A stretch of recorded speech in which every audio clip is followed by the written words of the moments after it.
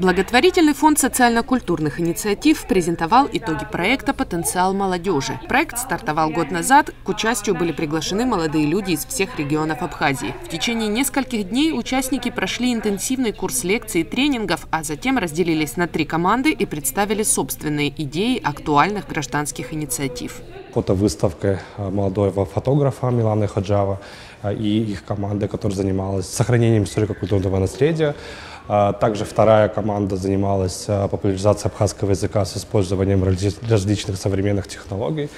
А, и третья компания – это трудоустройство людей с ограниченными возможностями здоровья. В течение всего этого года ребята реализовали эти инициативы. В рамках этих инициатив они реализовывали различные дискуссии, различные выставки, обсуждения тем, рассказывали подробно об этих проектах, приглашали экспертов на разных площадках. И вот совместно со всеми реализовали в итоге успешно этот проект. Милана Ходжава – автор фотографий, представленных на выставке и участник кампании по сохранению историко-культурного наследия. 38 больших работ и еще 15 фотографий в формате открыток и закладок со знаковыми объектами архитектуры уже выставлялись в Гагре и Пицунде, а после Сухума будут представлены в Гудауте и Ачамчире. Я проходила курс по, образ...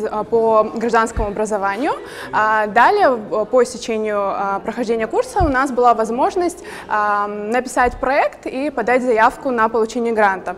Мы написали с ребятами проект и выиграли грант от Фонда социально-культурных инициатив. Сначала а, это была любительская съемка, то есть я просто ходила по городу и э, фотографировала э, свои любимые здания.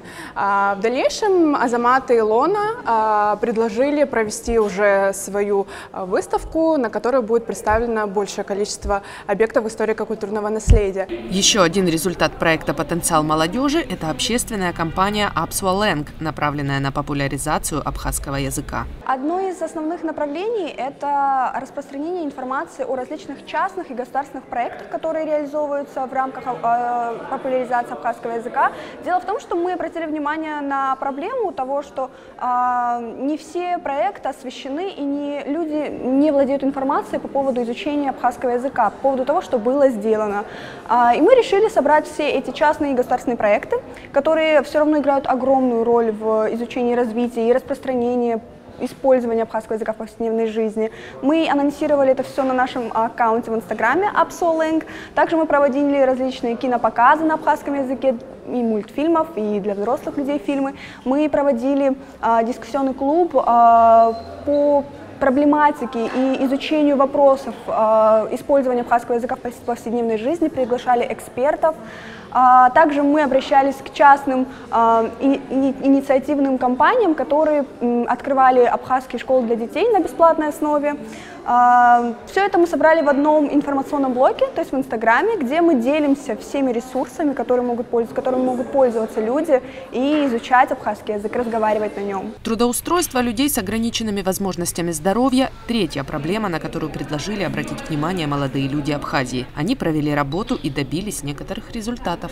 Суть проекта в том, чтобы э, дать возможность увидеть людям с УВЗ перспективы трудоустройства. Для этого были проведены встречи и с предпринимателями, и с самими людьми с УВЗ для того, чтобы э, понять, какой вообще спрос есть на рынке, на какие вакансии, например. Мы для себя пришли к выводу, что есть довольно большой спрос на digital профессии. Это позволяет людям с ОВЗ э, работать даже удаленно. Есть люди трудоустроенные, их пока что не так много, но эта тема актуализируется, распространяется дальше, расширяется. Я думаю, что дальше успехи у проекта будут.